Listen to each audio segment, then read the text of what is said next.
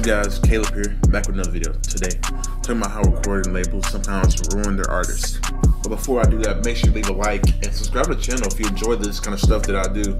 Uh, I do this several times a week. I try to at least. College students, so it's kind of harder even now. So let's get into it. So first off, I haven't actually haven't did like a video video in a minute. Uh, last video video I did was like the Travis Scott Quavo album review. Uh, I was gonna do another Travis Scott video, but I feel like it was just gonna be a rehash of something I already did. But anyways, guys, you already know how recording labels are. They do what they want to do. They won't let you release your own music whenever you want to. Uh, like this has been happening a lot recently.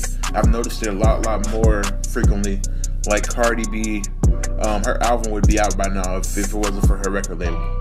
Lil Uzi Vert, his album would come out way sooner if his record label wasn't in on He's even stated that he misses his old days of SoundCloud where he would just release his music whenever he wanted to. Now he has to wait for the record label. Also, I believe that Travis Scott's Astroworld probably would have been out earlier than it did. Like, honestly, it would have came out in September at the same time as an albums normally do. And then he would probably drop Jack X Hunter like the same time in December. So that would be equal, it would equal it out if it was just him that like released the album. But honestly, I think they're doing a little bit more with that. Uh, but I feel like that's part of the reason why it's not out yet. But usually, what record labels do is they want to get the hottest thing out, and they don't want you to compete with other albums or artists at the time when their stuff comes out.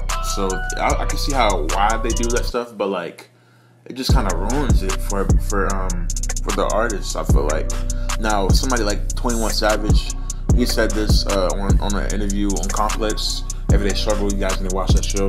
Joe Budden's not on anymore, but you still can watch it. Um, anyway, he says that like he can drop an album whenever he wants. He doesn't drop singles, so he can drop an album whenever he wants. So the studio backs him.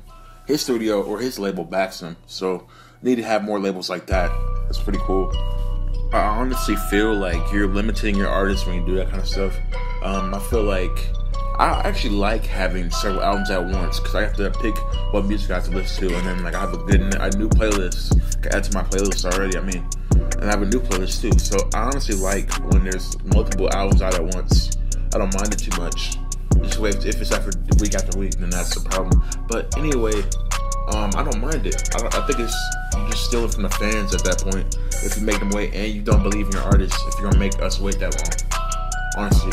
But uh, that's all I have to say for now, guys. Thanks for watching the video. Please leave a like, and I'll see you guys later.